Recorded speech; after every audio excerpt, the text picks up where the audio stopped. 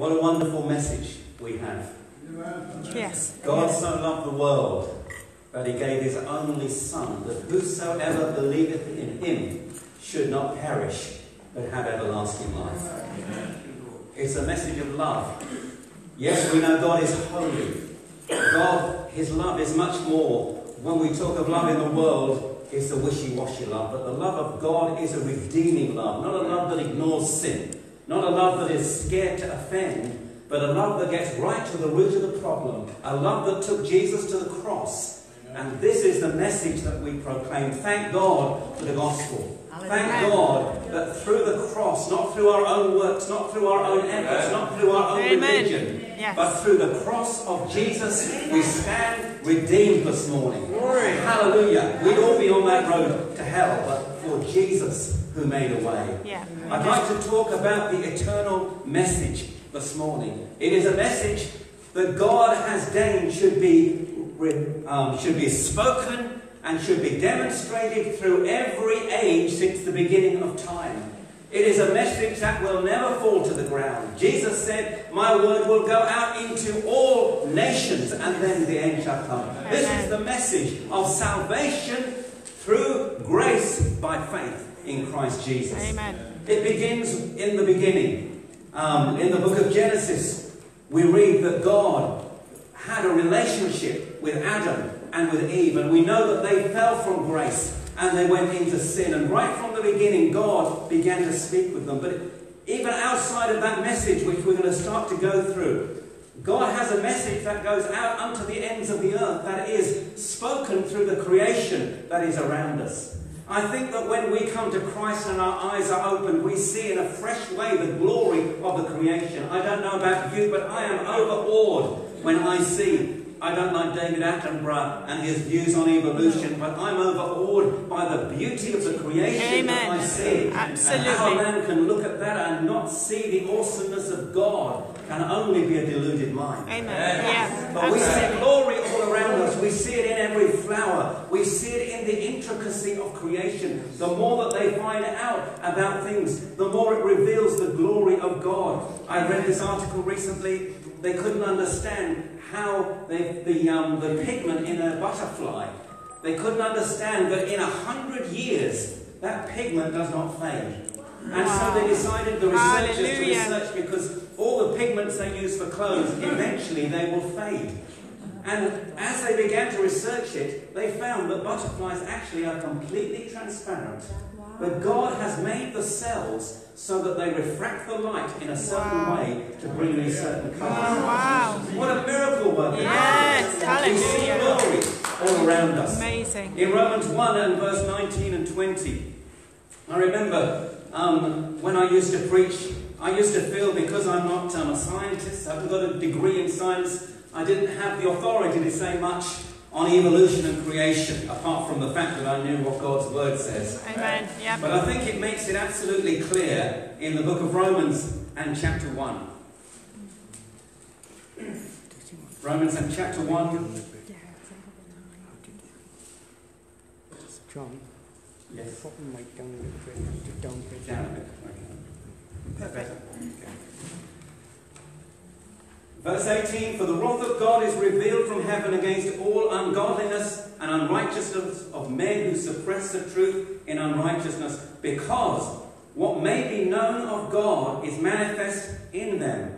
For God has shown it to them. For since the creation of the world, his invisible attributes are clearly seen being understood by the things that are made, even his eternal power and Godhead, so that they are without excuse. Amen. The existence of God, as far as God existing, God considers that every man and woman and child that has seen the creation around them is without excuse. We cannot look at some beautiful creation, Leonardo da Vinci, the, the Sistine Chapel, these beautiful artworks, and think they came about by chance. There was an explosion, and suddenly there was such intricacy. No. And yet we live in a world of intricacy. God says when we reject the knowledge of God, we are without excuse. His evidence is all around us. We look to the heavens and we see a size that we cannot even imagine. That's right. Hundreds of years it Yeah. would take us to get to some of those stars. We cannot imagine the size of the universe. Yeah. It declares his eternal Amen. and Amen. Praise his wonderful Yes. Psalm 14.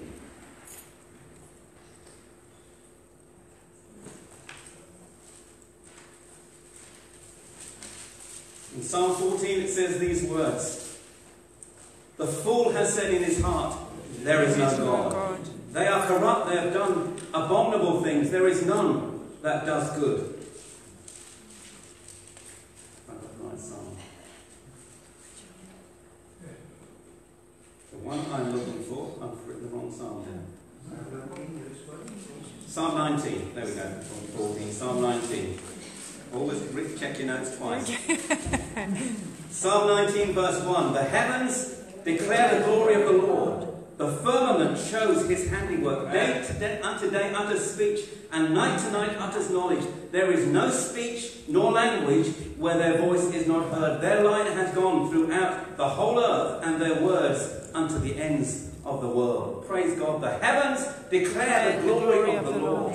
God is declared by the things that are seen. The invisible God is made known by the visible. There is no excuse for not believing in God. But thank God our God of grace has a specific message beyond his existence, and that message is the message of salvation through the Lord Jesus Christ. And the amazing thing is that the Bible, from Genesis to Revelation, records that message. In the book of Genesis, we read in chapter 3 and verse 15, and many theologians consider this the first reading of the gospel. In Genesis 3, verse 15, it speaks of um, the serpent and the woman, and it says, I will put enmity between you and the woman, between your seed, the seed of the serpent, and between her seed, the seed of Eve, that would ultimately be the Lord Jesus Christ. He shall bruise your head, and you shall bruise his heel. And we know, of course, that the heel of Jesus was bruised upon the cross, but the head of the serpent was crushed. This was speaking of the gospel. It was being preached at the beginning, the moment that man sinned. And as we go on, we read that it says in verse 21 And for Adam and his wife, the Lord God made tunics of skin and clothed them. In this, we see another preaching of the gospel. Yeah. Adam and Eve, when they sinned, they knew the glory had departed. They were clothed in the glory of God. They were not naked. They knew they were naked because the glory, the light, the presence of God has departed. When Jesus appeared in his full glory, he was radiant as the sun. When Moses came down from the mountain out of communion with God, his face shone with the glory of God. Adam and Eve had a close relationship with God. They walked with him in the cool of the day. They were clothed with his glory, but the glory had departed. They tried to make themselves clothed with fig leaves. That represents the religion Yeah, of man. Since right. man fell, there has been a desire, a need, an emptiness within man that has driven us to seek in every way to fulfill that need. This is man's religion, man's symbolism, man's ritualism. Anything that is outside of the Word of God and God's way is empty religion. And Right, we're told in the right, amen. With a form of godliness, but denying the power of the gospel is always impregnated with the power of Almighty God. That's why it changes Amen. lives. That's why a countenance changes. That's why the words that come out of a person's mouth change when they have an encounter with the living Christ. He is alive. He changes us. He regenerates us within. His power is the same yesterday, today, and forever. forever. Praise His Amen. Hallelujah. The gospel was preached, and God came along and He said, Listen, your religious works will do nothing. You need the blood of atonement. You need to look forward by faith to the Lamb that is yet to come. And He took an animal. And he slew that animal, and the blood of that animal was shed. And God took the skin and said, In the same way, this skin is covering your nakedness. Only the blood of redemption, only when life goes back up to God to pray for the death of your sin, can there be true reconciliation with God. And God did this as a preaching of the gospel. And he confirmed it in Leviticus 17, verse 11, where it says, The life of the flesh is in the blood. Yeah. God has given it to us on the altar to make atonement for our sin. The life is in the blood, Blood. looking forward to the blood of Christ. Amen. Throughout the Old Amen. Testament, we see that God continually ensured that the gospel was preached. In Genesis chapter 5, you probably know this, it's a study on its own. But if you take the ten generations of Adam and, and take their names and translate them into the English, this is what the ten names of the ten generations of Adam say. Man is appointed to mortal sorrow, but the blessed God shall come down, teaching his death shall bring the despairing rest. Wow. That's in Genesis Wow. chapter 5, Wow. the gospel of Jesus Christ. You can be assured the rabbis didn't put that in there. God put it in there. It's through the Bible, through and through. Hallelujah. In Genesis 5 and verse 21, we read Enoch lived 65 years and begot Methuselah. And we see here again the message. Enoch was a prophet. In the book of Jude, we're told that Enoch, right back at the beginning, as a prophet, declared the second coming of the Lord Jesus Christ and the day of judgment that was being held up for all men on earth. And as a prophet, Enoch would have declared the message of God. God has had his people from the beginning of time right through to today. And the message has always been declared and will always be declared until Jesus' feet are standing again on the Mount of Olives. Amen. Amen. Hallelujah. Enoch had a son. His name was Methuselah. When you're a prophet, you do all sorts of things prophetically. Yeah. I love the prophetic. Thank God for the prophetic Amen. words that came here this morning. Yeah. Thank God when I look back, I see how God has encouraged me through the years through prophetic words. But Enoch was a Yeah. prophet. He had a son, Methuselah. His name means when he dies, it will come. Wow. Enoch was predicting the day of the flood. And if you go, again, it's a study on its own, but you can go into what we know of the timings from the Bible, and you can find out that in the exact year that Methuselah died, the flood came. God was warning the people. He never brings judgment without warning. He warns people. He gives them the opportunity to come to Him to receive forgiveness and grace. Grace is the message from the beginning of time. How were the people of the Old Testament saved? They were saved not through the law. The law could never save anybody. The law was a tutor to bring us to Christ. The Bible says that Abraham was saved by faith because he believed God and it was appointed unto him for righteousness. righteousness. The. Old Testament saints were saved the same way that we are, but they didn't yet receive the promise. But when they fulfilled the sacrifices, when they honored the way that God had said, by faith they were looking forward to the cross. And thank God that when Jesus rose from the dead and broke the chains of death forever, that all of those Old Testament saints that by faith had been looking forward received the promise. And went Hallelujah. out of their graves, appeared to many in the Yeah, city, yeah, and they went did. up into heaven. And they're in the presence of God. Hallelujah. Thank God. He preaches the gospel from the beginning. Enoch was a prophet. Wow. Methuselah spoke of the things that were to come in that exact year. Grace and forgiveness is throughout the Bible. And then we see Noah. Noah warned that judgment was coming. And in 2 Peter 2, it tells us that Noah was a preacher of righteousness. Noah went out and told people the word of God. Noah spoke the truth. He proclaimed the gospel of grace unto that generation and gave them an opportunity to come on to the ark of salvation. Only his own family was saved, but the message went out, and the message will always go out. Hallelujah. Thank Amen. God for preachers of righteousness. Yeah. We see throughout the Old Testament the blood sacrifice. It was immense, and it was immense because God wanted man to know the immensity of our sin and the barrier it bring- brings between us and God, but also the glory of the sacrifice that was yet to come.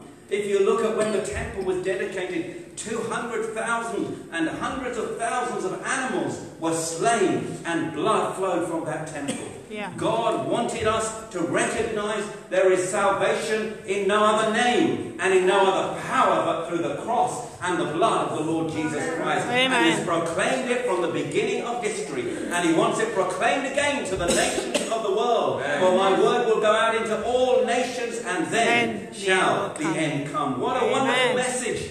What better message is there in the world today than the message of grace? A message that exposes sin. A message that stands in the face of sin but does not point the finger in judgment but says, Come and receive forgiveness. Your sin will destroy you. Your sin is a vile thing, but if you will come to Christ, if you will receive His forgiveness, your sins can be blotted out and you can be made white as snow. Praise His wonderful, wonderful name. Amen. We see Christ in the tabernacle, in the symbolism. We see in the pillars the wood that spoke of humanity overlaid with gold that spoke of divinity. We Yeah. see God was already preparing that God, the eternal Son, would become flesh. That the divinity and the humanity would come together, that he would be totally God and totally man, that he would stand in your shoes and my shoes, and that he would endure this earth for each one of us so that he could relate to us, so that he could be like us, and so that he could be a suitable sacrifice for us. We see it in the symbolism of the tabernacle. We see it in the priesthood. We see it in the sacrifice. We see it throughout the Old Testament. God is pointing forward to something better. What wonderful words we read in Isaiah chapter 53. What more glorious representation of the gospel. Surely he has borne our griefs and carried our sorrows. Isaiah 53, verse 4. And yet we have esteemed him stricken, smitten by God, and afflicted. And yet he was wounded for our transgressions, he was bruised for our iniquities. The chastisement for our peace was upon him, and by his stripes we are healed. All we like sheep have gone astray. We have turned each one to his own way, but the Lord has laid on him the iniquity of us all. Again and again in the old covenant, they would lay their head upon a lamb, and the lamb would be slain in their place.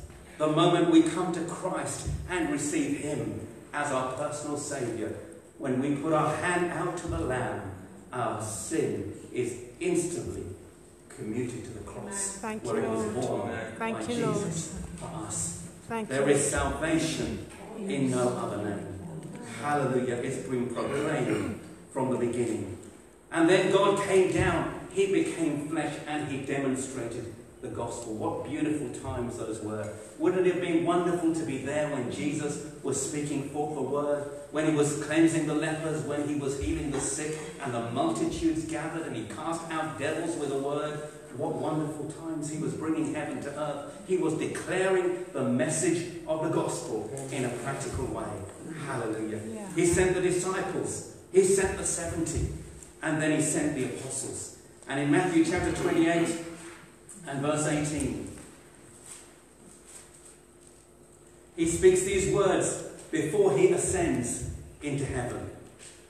And He said, All authority has been given unto me in heaven and on earth. Go therefore and make disciples of all nations, baptizing them in the name of the Father and of the Son and of the Holy Ghost, teaching them to observe all things that I have commanded you. And lo, I am with you always, even unto the end of the age. This was the Great Commission. Yep. Jesus commissioned the disciples, He commissioned the apostles, so that when He ascended into heaven, the same message that He spoke was proclaimed unto the church and unto the world. And that small group of people, we're told in the book of Acts, that the whole known world was turned upside down, not by them alone, but by the message that they preached. Because the power is not in a man, it is not in a ministry, it is not in a woman. The power is in the message. Amen. The gospel is Amen. the power of God unto salvation Yeah. unto him that Amen. And the church has got to pay a price to keep this message pure. We cannot afford to have it compromised. We cannot afford for it to be made grey. We cannot afford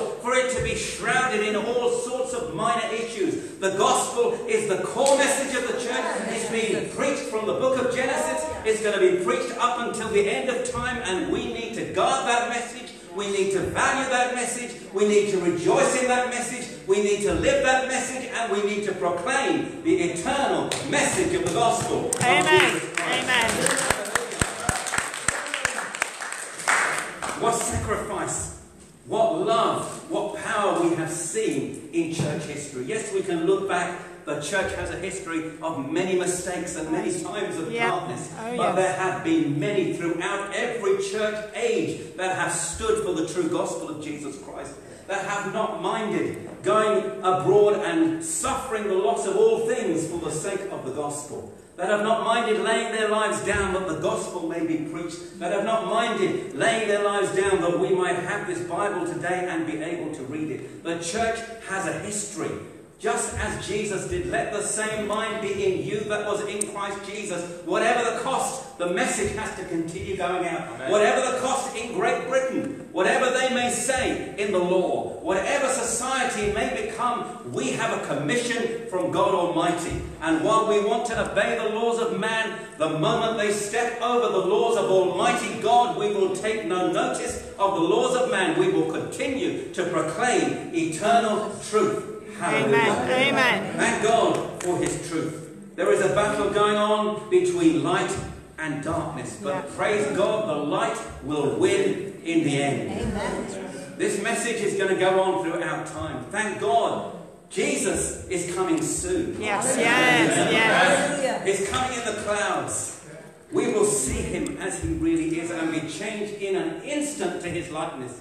He came meek and mild as a servant. He's coming back in the clouds of heaven in great glory. And for those that stand in their pride against the God of heaven and against what his edict and his word says, I wouldn't want to be in their shoes for one moment. I want to be hid behind the cross. of my Amen. Amen. Hallelujah. There Amen. alone do I find safety. I am weak, and all of us are weak. But before the cross of Christ, we find refuge. Hallelujah. We see in the book of Revelation that when the church is taken up, we believe it will be. We're going to be forever with the Lord. And God Hallelujah. has an eternal plan for every one of us. And whatever difficulties you may be going through, whatever tragedy, whatever family problems, whatever opposition is coming against your life, remember what Paul said to the persecuted Christians. He says that the sufferings of this present time are not even worthy to be compared to the glory that is yet to be revealed. Lift up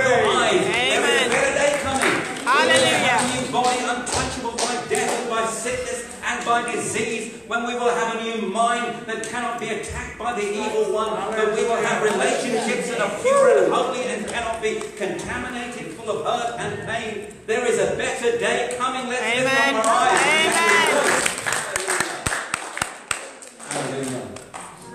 When the church goes up, we read in Revelation chapter 7 144,000 witnesses. God has put his hand on 12,000 from every one of the tribes of Israel that God Yeah. puts his hand on. When we're gone, the message will not stop. No, it will no, continue. that's They will go out. We read at the end of Revelation 7 that, Behold, there is a great multitude Yeah. that no man can number of every tribe and tongue and nation.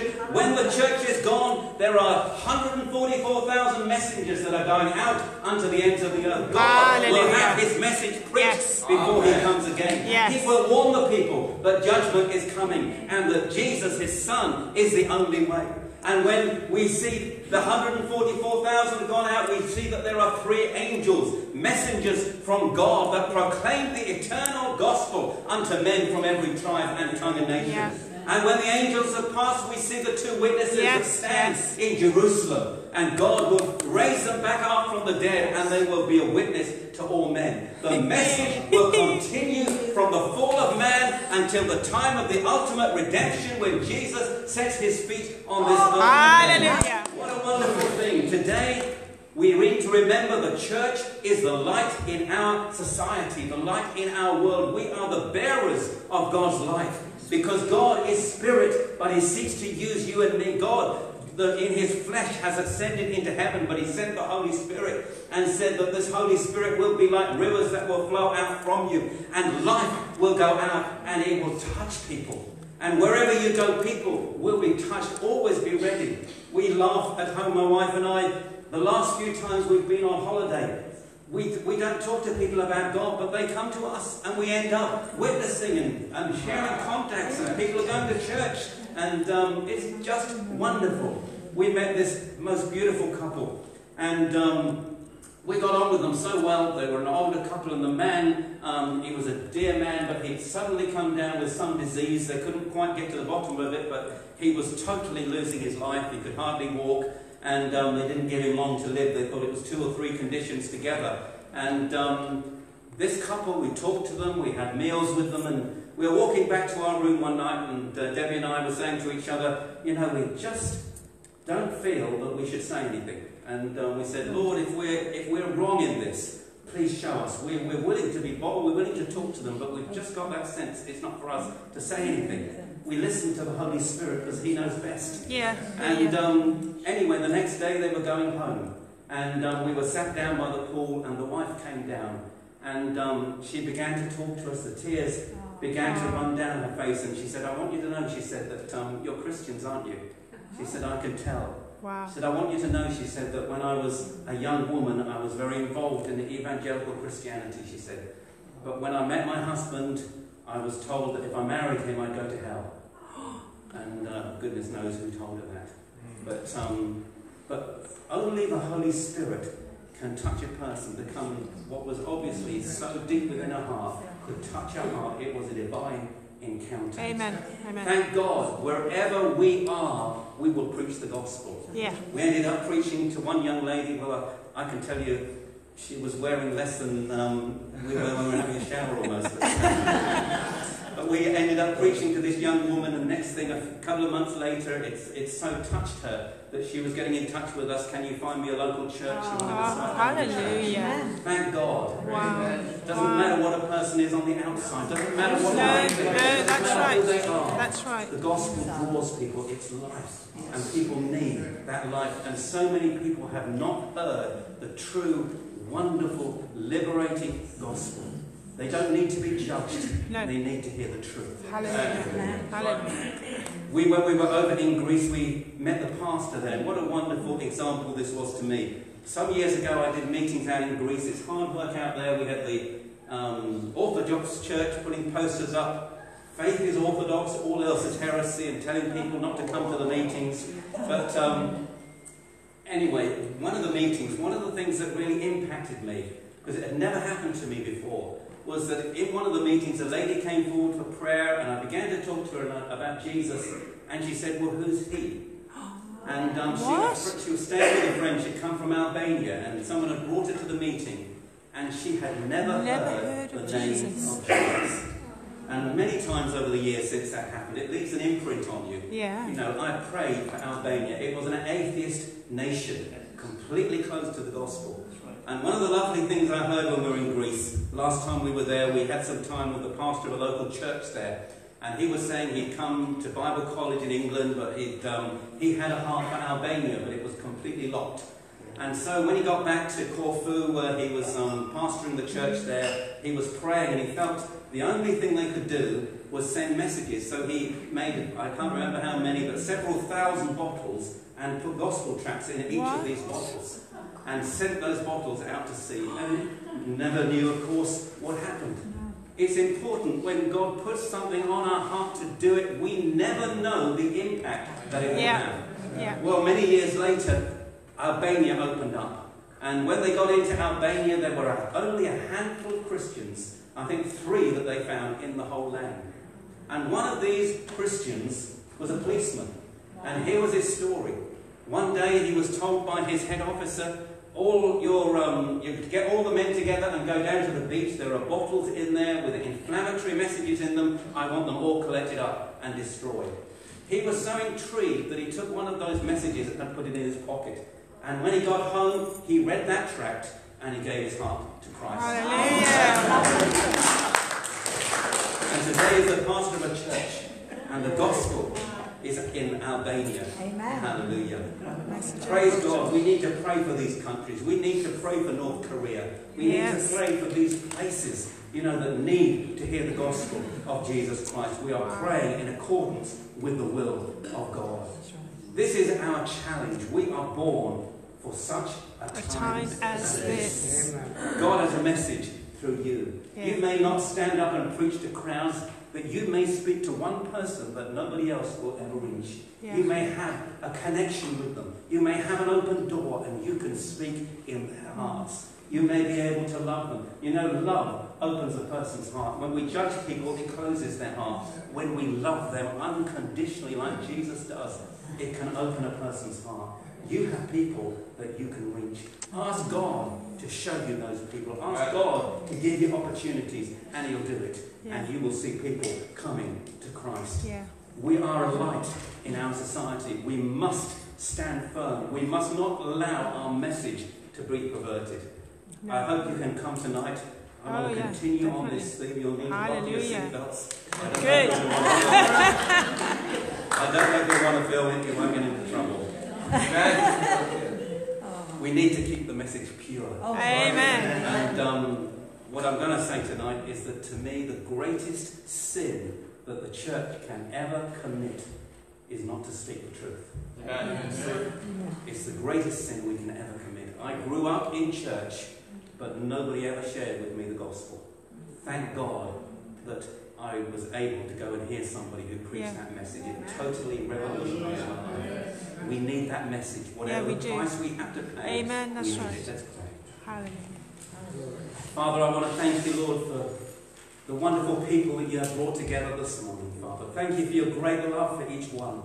And thank you for the message initiated in eternity that has been shown to everyone that is here. The message of love, the message of truth, the message of redemption through the blood of Jesus Christ and forgiveness of our sins. This is why we stand this morning. This is why we are a church this morning. Why we are connected with you, Father, only through the blood of the Lord Jesus Christ. We thank you this morning for our redemption, Father. And Lord, as we are here this morning, we pray that that redeeming power would reach into every need, Father, into every heart, Father, into every situation, Father. Let that redeeming power, Father, touch us this morning in Jesus' name. There's going to be lots of time for prayer tonight, but if you can't come tonight and um, you're only here this morning and you'd like prayer, I don't want you to go home and miss out on that prayer. So if anyone would like prayer this morning, as we come to a close, please come forward. I would be very happy to pray. Hallelujah.